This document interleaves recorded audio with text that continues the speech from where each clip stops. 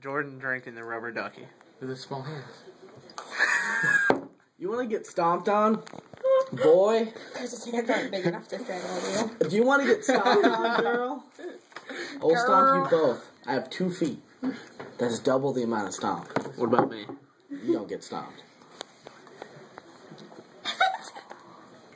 Small hands. I'm gonna kill you both. Then I'm gonna bury you. Wait, No, back. it means that you I'll have good bury friends you. like Zach. Come back in ten years.